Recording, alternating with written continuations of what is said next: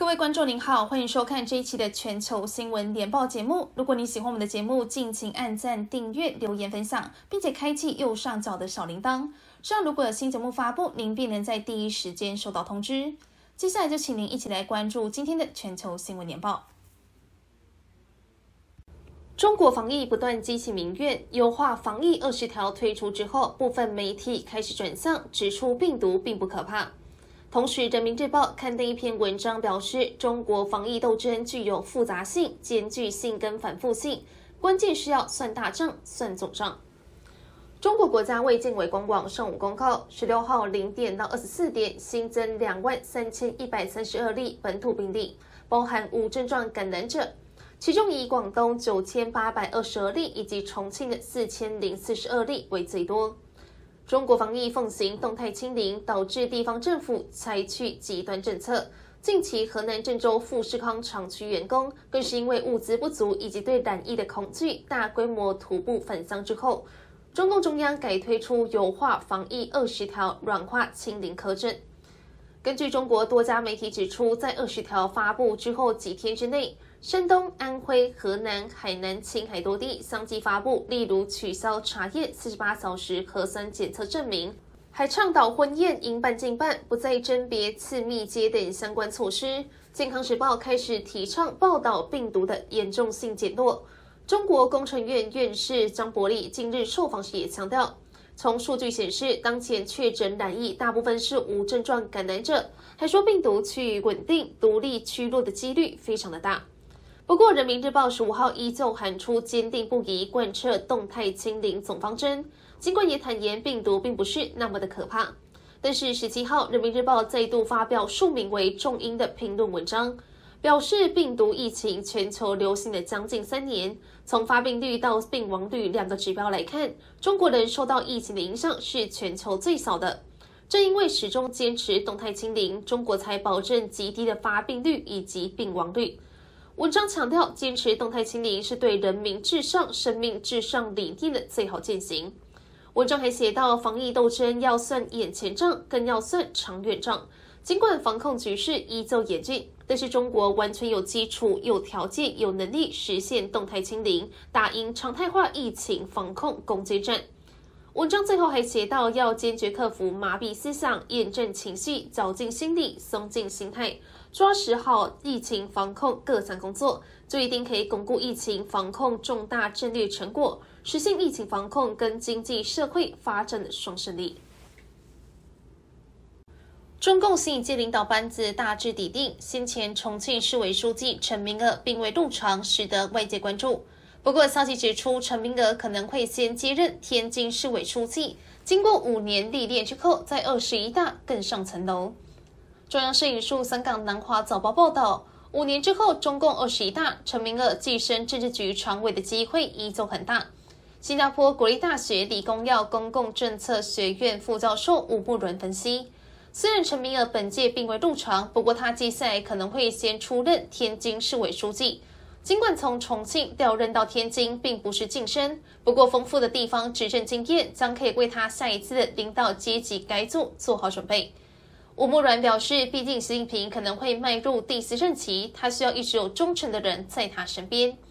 先前有另一篇分析认为，被视为习近平接班人选的陈明尔没有入场，而胡锦涛指定的隔代接班人胡春华，甚至连中共中央政治局委员会都没有进入。这代表二十大诞生的新一届政治局常委之中没有潜在接班人。时事评论员李玲一表示，陈明尔的资历并不比蔡奇还有丁薛祥不好。他之所以没有入场，其实是习近平不愿发出他想退休的信号。他认为习近平还担心，如果指定接班人，那么低层官员可能会向接班人靠拢，这样对习近平的集权就非常的不利。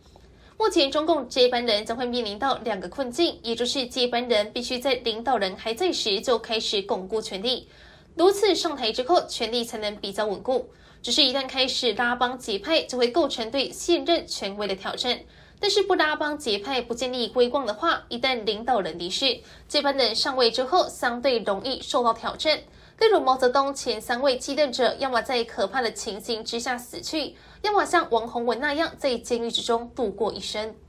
报道指出，陈明娥求学跟工作在浙江省度过了将近三十年期间，从一九九九年到二零零一年担任中共浙江省机关报的《浙江日报》社长兼党委书记。之后，习近平二零零二年到二零零七年担任浙江省委书记时，他则接管省委宣传部。陈明娥是习近平忠实拥护者，也是习近平主导的浙江新军的要员之一。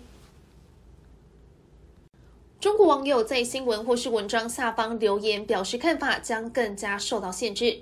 中国国家网信办十六号发布新版规定，将在十二月十五号实行。内容规定，除了网站要审核之外，公众号经营者也要加强审核以及跟帖评论内容。新华社报道，中国国家网信办表示，现行在二零一七年十月一号开始实行的互联网跟帖评论服务管理规定法规。随着网络新的技术、新的应用的快速发展，网络跟帖评论出现了许多新的情形、新的问题，需要因应情势发展变化来修订完善。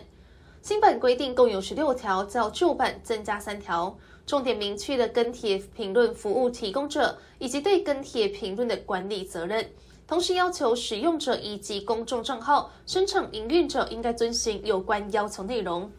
王新曼还强调，公众账号生产运营者可以依照用户评服务协议，向跟帖评论服务提供者申请跟帖评论区的管理权限。跟帖评论服务提供者应该对公众账号生产运营者的跟帖评论管理情形进行信用评估之后，合理设置管理权限，提供相关技术支持。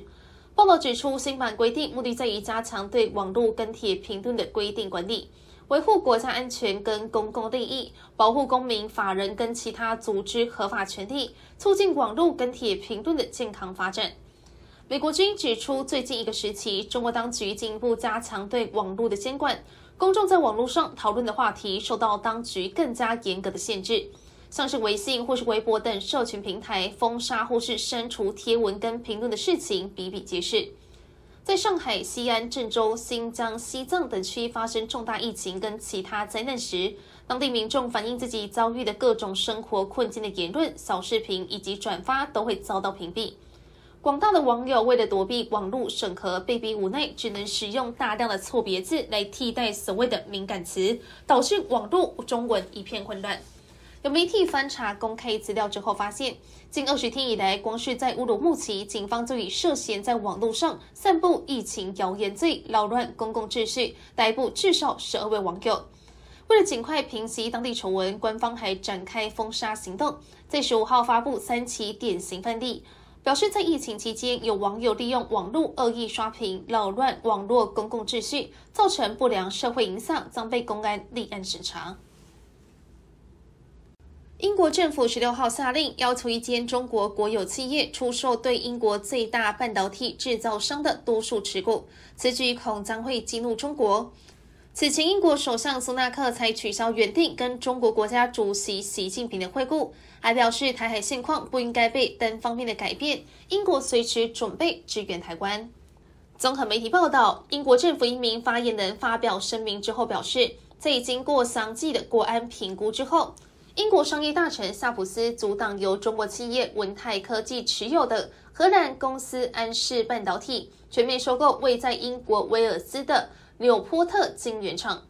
该发言人表示，萨普斯要求安氏半导体出售纽波特晶圆厂至少百分之八十六的持股，避免潜在的国家安全风险。中国智能手机巨头文泰科技旗下的荷兰公司安氏半导体。已经在二零二一年七月完成对英国最大的芯片制造商纽波特晶圆厂的收购，收购金额并没有对外公布。而在伦敦跟北京之间关系日益紧张，以及对中国企业海外投资审核越来越严格的情况之下，这笔涉及英国重要工业资产的交易案在英国政坛引起反弹。不过，对此安氏半导体表示震惊。他们说，收购案先前已经经过两次审核，公司将会提出上诉，推翻伦敦当局的决定。另一方面，英国首相苏纳克在上个月上任，已经对中国采取强硬立场。不过，他也表示有意跟中国维系贸易关系。苏纳克原本计划本周在 G20 峰会期间跟习近平会面，不过，由于西方盟国召开紧急会议，以回应一枚俄罗斯飞弹攻击北约成员国波兰的事情，使得苏纳克跟习近平的会面因此取消。不过，英国《卫报》指出，英国前首相约翰逊将中国称之为系统性竞争者。之后的特拉斯则承诺会在官方声明跟文件之中，正式将中国重新定义为威胁。如今，苏纳克又改口表示，中国是系统性的挑战。显示出英国对华立场又开始软化。彭博社也认为，苏纳克在中国问题上的态度不如特拉斯强硬。彭博社还指出，苏纳克上任三个礼拜以来对中国态度，显示出他似乎很想重启跟中国的关系。不过，彭博士也提到，尽管苏纳克对中国态度趋于软化，不过在台湾问题上面，他跟特拉斯一样，采取谨慎保留的态度。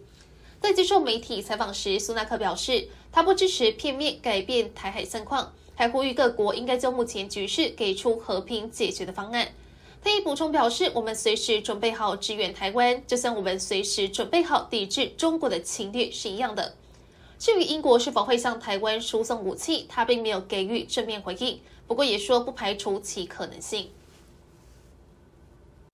美国本月八号举行国会其中选举，在历经多日开票之后，多家美国媒体消息指出，共和党籍在众议院已经取得两百一十八席，达到掌握众议院所需的门槛。现任总统拜登未来两年任期恐怕难以推动法案。不过，选前预测共和党将会出现的红色浪潮并未如预期，参议院还是由民主党来掌握。综合媒体报道，其实从过去历史来看，美国其中选举通常会出现翻盘情形。其中一党总统上任两年多之后，历经其中选举，通常会被另一党来掌握参众两院，使得剩余任期形成跛脚情形。例如，川普任期之内的其中选举，民主党重掌国会，川普推动的许多政策都遭到否决。而共和党此次选举之前信心满满，相信红潮回归将会拿下参众两院。结果不仅在参议院以四十九席比五十席翻盘失败，众议院也仅以两百一十八席比两百零八席小幅胜出。有专家分析，这是因为美国近几年人口结构产生变化，不利共和党的选情，而且民主党在三十岁以下年轻选民之中得票率比共和党整整高出二十八个百分点。而这对共和党而言，可以说是一个灾难性的时期，将来更势必要面对蓝色浪潮。不过，由于众议院多数党换成共和党，议长预计将会由麦卡锡来出任。拜登已经向麦卡锡致电祝贺。未来两年，由于参众两院分属不同政党，也让美国政局增加更多的不确定性。报道分析，失掉众议院关键多数，将加剧拜登未来两年执政难度。包含堕胎、通膨在内许多重大法案通过众议院的机会将大幅减少。此外，预计保守派人士在拿下众院之后，将会持续调查这拜登政府官员跟他的儿子杭特的事情。在国际事务方面，共和党也可能会减少美国政府在俄乌战争之中对乌克兰提供的经济跟军事援助。拜登十六号对共和党赢得众议院表示祝贺，他也在一份声明之中表示。美国人民希望我们可以为他们把事情做好，而我将与任何愿意跟我合作、拿出成果的人合作，不管是共和党还是民主党。而在共和党赢下众院的前一天，前美国总统川普十五号宣布再一次竞选总统。但是从本次美国中期选举之中可以看见，川普魅力已经大不如前。川普所支持政台的候选人多半没有胜出，这一大对他出征宣言而言，并不是个好现象。此外，保守党派亿万富翁雅诗兰黛继承人兰黛表示，他不会资助川普参选，这也成为最新一个跟川普保持距离的共和党大金主。就连德国总理肖尔茨都表示，他希望美国选民可以在二零二四年时再度向民粹主义说不。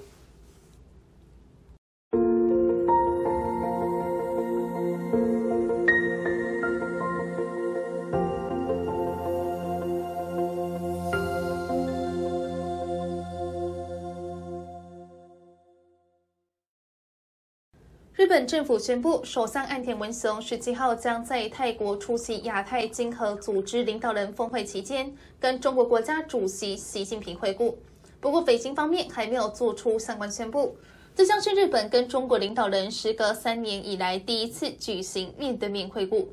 综合媒体报道，松野博一在例行新闻发布会上表示，有必要通过日本跟中国双方的努力来建立建设性的稳定中日关系。我们希望举行一次会议，以推进日中双边关系的发展。岸田文雄在日本自民党总裁选举结束之后，曾经在二零二一年十月跟习近平通话，而本次将是两位领袖首次的面对面会议。习近平上一次跟日本首相面谈是在二零一九年十二月，当时他在北京跟已故的时任日本首相安倍晋三会面。中日关系长期争议包含东海小岛主权归属以及二战道歉问题。今年在美国众议院议长佩洛西八月访问台湾之后，中国向日本附近水域发射弹道飞弹，两国关系进一步紧绷。日本跟其主要盟友美国谴责中国行动。日本在其二零一九年国防白皮书之中，还把中国确定为其主要对手，担心北京对国际准则的藐视，以及对台湾打压跟快速军事现代化构成严重的安全威胁。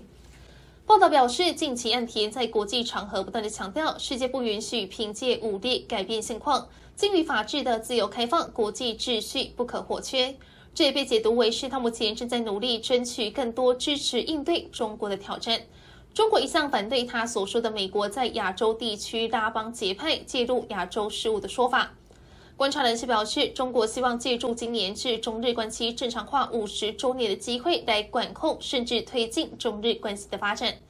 此前，习近平十四号在巴厘岛跟拜登举行众所瞩目的面对面会谈。华府专家普遍认为，尽管中美双边在台湾问题上皆没有让步，但是拜协会结果还是比预期要好。美国企业研究所资深研究员库珀表示：“我认为习近平在二十大结束之后，似乎希望进行一点微笑外交，试图解决中国在对外关系上遇到的一些挑战，不仅是跟美国，还有跟其他主要民主国家之间的关系。”习近平之后还在一天之内接连会见了法国总统马克龙、澳洲总理阿尔巴尼斯、韩国总统尹锡悦以及荷兰首相吕特等。这些会谈被视为中国跟相关国家改善关系的契机。日本首相岸田文雄十二号开始进行为期八天的东南亚行程，就国际新议题跟东协国家深入探讨，宣传日本立场跟举措。不过，消息指出，岸田文雄内阁支持率持续探底，来到二零二一年上任之后最低的百分之三十三，也较上个月调查下滑五个百分点。同时是连续四个月创下新低。美国之音报道，在中国总理李克强参与东协领导人会议之后，岸田向东协各国表示，明年计划提出为东协自身的印太构想提供协助。分析人士认为，日本将更加积极的协助经济、外交、军事合作等各个方式来拉拢东南亚的国家，跟日本一起防堵中国在印太区域的势力扩张。分析表示，中国是东协最大的贸易伙伴，所以东南亚诸国必定十分重视跟中国的经济合作，希望在美中竞争之间保持中立。不过，中国在地区，尤其是南海的扩张，已经也使得东南亚国家们感到主权被中国侵犯的风险，因此必须依赖美国跟日本。而目前，日本正在向东南亚国家提供各项援助，透过各种对话解决问题。台湾淡江大学荣誉教授、东南亚以及南亚协会理事长林若二表示，日本在东南亚生根已经超过四十年的时间，几乎每一届日本首相都会每年访问东南亚，跟东南亚诸国从经济合作开始密切合作。他认为岸田必定利用疫情之后的第一次实体峰会，跟东南亚诸国进行私下讨论，包含中国议题。分析指出，日本跟东协的关系是比较信任度高的，可能比美国跟东协的信任度还要更高。东南亚不会放弃中国这个大市场，在跟中国“一带一路”合作上面，即便有冲突，还是会持续下去。但是东南亚国家非常信赖日本，在 CPTPP 合作预期会有很好的成果，这是中国无法期待的。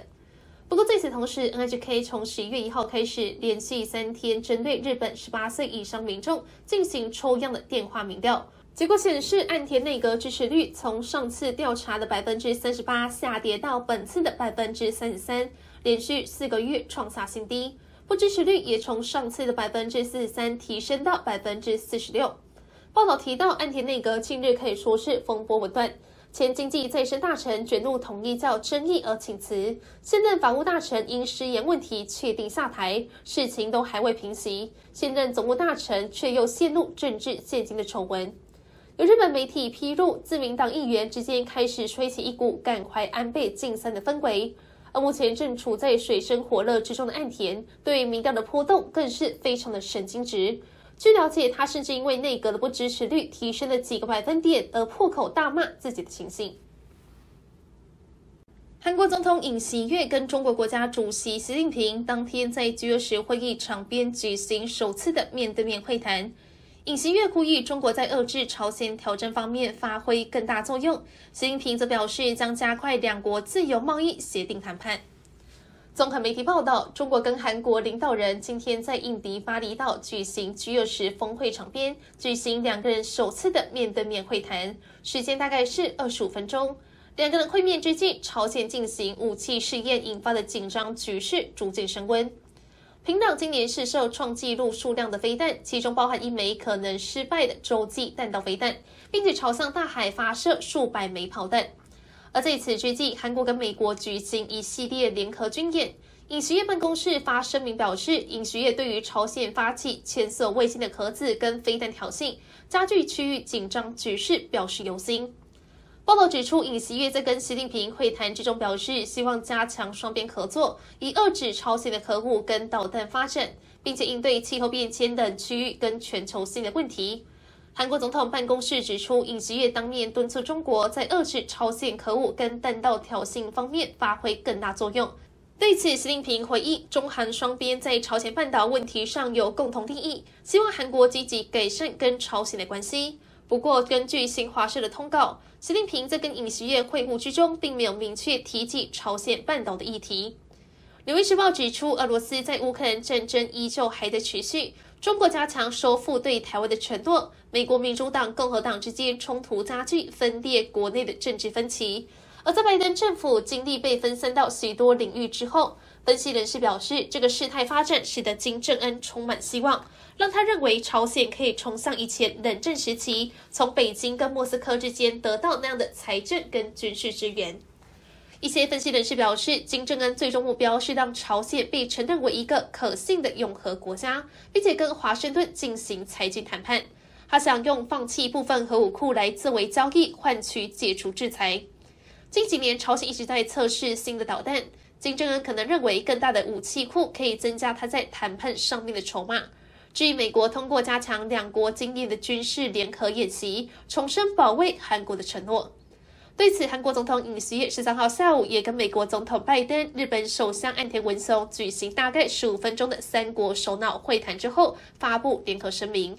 韩国总统办公室表示，这是三方领袖首次签署一篮子性质的联合声明。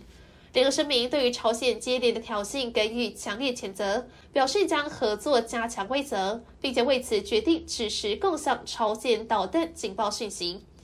联合声明也表示，在调整对朝鲜制裁的同时，也将携手促进国际制裁得以切实的履行。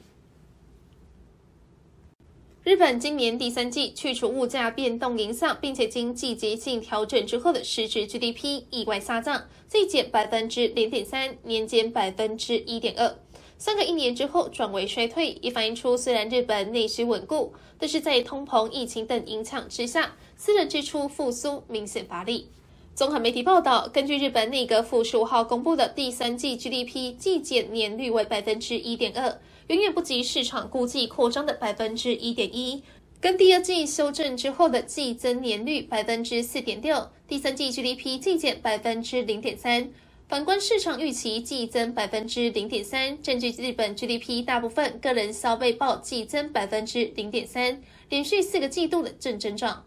虽然新冠肺炎疫情确诊人数持续增加，不过当局并没有实行更加严格的移动管制。研调机构显示，随着旅游开放、入境旅游反弹跟贸易逆差的缩小，日本第四季有机会出现经济增长。不过，第八波新冠肺炎疫情跟通膨数据将会影响经济复苏。报道指出，全球通膨飙高，多家央行收紧货币，以及俄乌战争持续为日本经济增添压力。在此同时，日本陷入日元重贬的挑战。日元对美元汇率重挫至三十二年新低。从燃料到食品价格无一不涨，家庭面对沉重的生活成本压力。一年之前，日元对美元汇价为一百一十五日元，如今已经跌到一百四十。日元贬值虽然有利出口，不过也造成进口成本的飙高。日本石油依赖出口，大部分食品也是从海外输入的。水上加霜的是，俄乌战争也推高能源跟粮食价格。占据日本经济超过五成的民间消费，第三季季增百分之零点三，优于分析师预估上升的百分之零点二，但是远远不及第二季季增的百分之一点二。此外，数据也显示，消费者支持持续承受压力。第三季实质薪资季减百分之一点六，不仅连续第二季下滑，而且减幅大于前一季的百分之一点二。第三季出口季增百分之一点九，不过进口增幅更是可观，较前一季激增百分之五点二，这代表外需将 GDP 消去的零点七个百分点。龙宁中金综合研究所首席经济学家南谷志表示，第三季经济萎缩令人感到意外。并且指出，虽然取消疫情限制让经济得到一些缓解，但是未来病例的不确定性依旧让经济前进蒙上阴影。不过，部分经济学家依旧认为，日本政府旅游补贴等刺激措施将会促进私人消费，日本第四季 GDP 将会恢复成长。日本经济研究中心也认为，日本第四季 GDP 年增率预估将落在百分之二点一四。大和证券经济学家也估计。日本第四季 GDP 将年增百分之四点四，主要因素为家庭支出强劲复苏。由丰田、松米等八间日本企业成立的新公司 Lepidus 将致力于下一代芯片的开发跟生产。日本政府将为这间新公司提供将近五亿美元的补贴，目标是在五年之内量产两纳米以下的芯片，以跟上台积电跟三星脚步。分析称，此举是日本挽回空白十年的最后机会。日本经济省表示，八间重要企业，包含日本 Sony、软银、丰田汽车以及通讯大厂日本电信电话公司，已经共同加入这家新成立的企业。新公司 Lepidus 在拉丁语里面是为快速的意思，将致力于开发下一代或是后五 G 半导体。这些先进晶片将可以让智慧型小型工具跟智慧型城市都可以使用高速感测器跟传输器。日本首相岸田文雄表示，日本将专注在于对经济安全至关重要的半导体产业，这项产业将吸引政府跟非政府部门的投资。长期以来，日本都以作为技术强国而自豪，包含其芯片生产。但是日本经常是承认，日本已经在全球竞争之中落后其他国家十年，包含美国、韩国、台湾跟一些欧洲国家。金传胜表示，要保持在技术领域之中的强国地位，现在是日本的最后机会。但是改变需要时间。金传胜表示，日本实现晶片大规模生产的预期时间是二零二零年代末期，或是数年之后。参加 Lepidus 项目的日本企业有丰田、Sony、软银、凯霞、日本电装、日本电器、日本电讯电话等七间公司，以及森林银行。除了日本政府补贴之外，森林 UFJ 银行出资三亿日元，其余七间公司各出资十亿日元。下一代晶片有望成为人工智慧跟自动驾驶系统的关键部分。日本政府表示，对该项技术的投资将带来就业机会以及经济增长。美国官员已经指出，现在这个时刻比过去任何时期都更加接近看见台海发生冲突。中国已经扬言，如果有需要的话，有一天会以武力统一台湾。由于台湾是全球半导体世界的领先国家，中国任何入侵行动都将会对全球供应链造成严重破坏。同时，报道指出，美国芯片禁令对半导体市场的恶化产生影响。如果中国半导体工厂无法采购美国企业市占率较高的设备，生产将会陷入停滞。东京电子本次将中国企业停止对其他设施投资的风险纳入业绩预测。日经亚洲指出，报道最后总结，本次新成立的公司虽然汇集日本政府跟企业的智慧，不过出资的八间企业跟政府等利害相关者还是很多。如果不能像拥有很强领导力的台积电或是三星一样快速做出经营决断，那么很可能会造成失败。不过，日本企业共组半导体公司就曾经有过失败收场的先例。新创的 Lepidus 是否可以稳定发展，还有待观察。HK 分析指出，新创半导体公司必须吸取教训，跟欧美同行合作，弹性适应世界的变化，才可以避免重复过去的错误。